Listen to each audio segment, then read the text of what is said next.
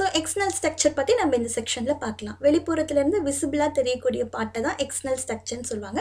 அது என்னென்ன அப்படின்னு டயக்ராமில் ஷோ ஆகுது பாருங்கள் இதெல்லாம் தான். ஸோ ஃபஸ்ட்டு வந்து பார்த்திங்கன்னா ஸ்கிலீரா இந்த ஒயிட் கலரில் இருக்கக்கூடிய இந்த லேயரை தான் வந்து ஸ்கிலீரா அப்படின்னு சொல்லுவாங்க. இது உள்ளுக்குள்ளே இருக்க பாகங்களை வந்து பாதுகாப்பாக பார்க்கறதுக்காக இருக்குது அடுத்து வந்து கார்னியா கார்னியாங்கிறது வந்து ஒரு கலர்லெஸ் லேயர் இது வழியாக தான் வர லைட் வந்து இது வழியாக தான் என்டர் ஆகும்.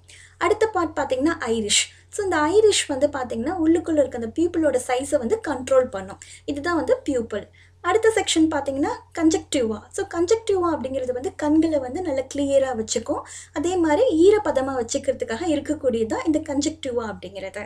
ஸோ அது என்ன அப்படின்னு சொல்லிட்டு இங்கே மார்க் பண்ணி காமிச்சிருக்காங்க பாருங்கள் இது வந்து ஓரளவுக்கு டிஎஸ் கண்ணீர் அதே மாதிரி மியூக்கஸை வந்து கொஞ்சம் செக்ரேட் பண்ணும்.